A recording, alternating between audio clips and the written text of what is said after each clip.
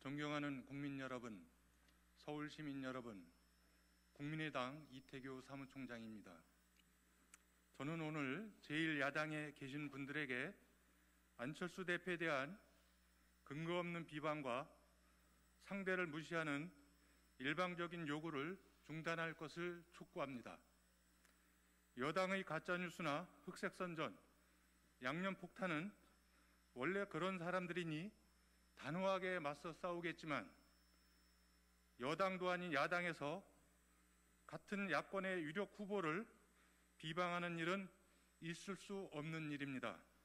이것은 좌초 위기에 빠진 문재인 정권에게 다시 희망과 웃음을 주는 어리석은 짓이고 서울시장 보선 승리를 통해 정권교체 교도부가 만들어지기를 간절하게 바라는 국민의 뜻과 다른 것입니다.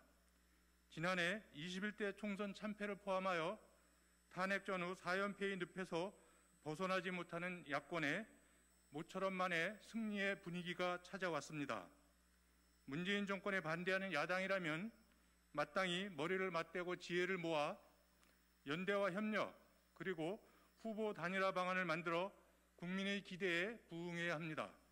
그런데 제1야당의 행태를 보면 실망스럽습니다.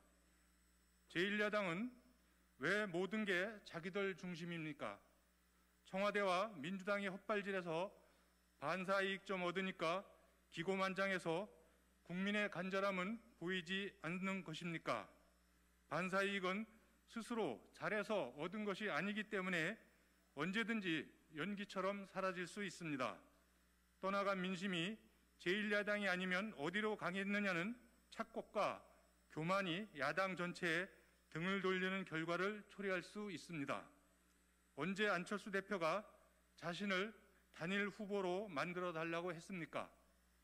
단일화의 절실함, 단일화를 통해 서울시장 보선을 이기고 정권교체 교도부 확보의 중요성을 강조했을 뿐인데 왜 왜곡하고 비방하는지 이해할 수 없습니다. 도대체 제1야당은 무슨 정치를 이렇게 합니까? 문재인 정권 실정과 폭주에 따른 민심 위반이 가장 큰 이유이겠지만 서울시장 선거 분위기를 야당으로 견인하고 있는 후보가 안철수 대표임은 누구도 부인할 수 없습니다. 전체 야권의 소중한 자산을 근거 없이 모략하고 비방으로 흠집내면 그 이득이 누구에게 가겠습니까? 야권 전체는 안철수 대표에게 상처 줘서 얻을 것은 아무것도 없다는 것을 알아야 합니다. 여러분들이 눈앞의 작은 이익에 어두워 휘두르는 칼은 승리의 칼이 아니라 공멸의 칼이고 안 대표에 대한 근거 없는 네거티브 공격은 칼날을 쥐고 상대를 찌르는 어리석은 자의 행위입니다. 제1야당의 정치 좌표가 어디인지 헛갈리는 분들이 계신데 착각과 오판 그리고 교만은 오랜만에 야권이 이길 수 있는 저러의 환경과 기회를 무의로 돌릴 수 있음을 저는 심각하게 우려합니다.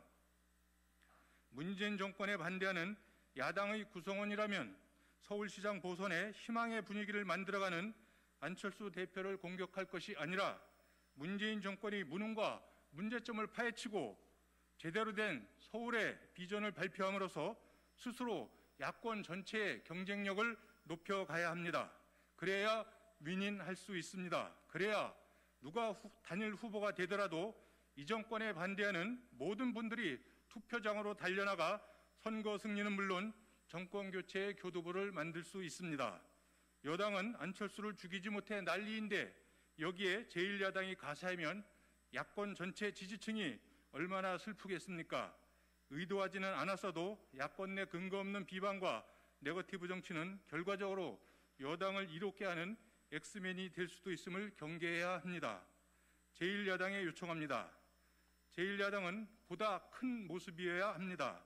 눈앞의 이익에 집착하는 현명한 태도에서 벗어나 전체 야권 지지층과 무당층까지도 끌어안는 큰 정치의 모습, 4월 서울시장 승리뿐만 아니라 내년 정권 교체까지 바라보는 긴 안목과 호흡을 보여줄 것을 기대합니다.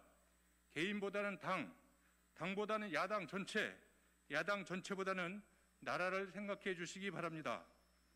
국민의당은 어떤 어려움이 있더라도 야권 후보 단일화에 진정성을 갖고 임할 것이며 어떤 분이 후보가 되더라도 서울시장 보선 승리와 정권 교체의 교두보를 만들어내는 데 최선을 다할 것입니다.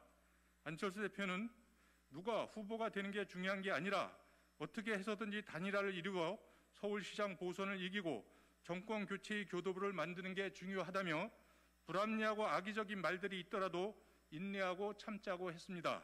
그렇지만 당 사무총장으로서 도가 지나친 부분에 대해서는 짚고 넘어가야 한다고 판단되어 오늘 한 말씀 드렸습니다.